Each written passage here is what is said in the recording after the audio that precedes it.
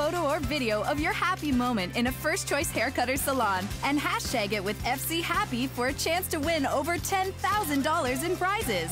Visit FCHappy.com to learn more. Believe it or not, there's a deep connection between Noranda and Nova Scotia. You see, Edmund Henry Horne of Enfield, Nova Scotia, a Canadian businessman and prospector, founded Noranda, the mining company, which became an outstanding copper and gold producer, employing more than 32,000 and with assets of more than 12 billion. Horne was a very generous man, and the E.H. Horne School was constructed in his hometown. It is a vital part of the Enfield community even today. But back to Rouyn-Noranda. It's much more than just a mining town. Even in northern Quebec, it is a blended community, Anglophones living alongside Francophones and enjoying the nature and beauty of the region.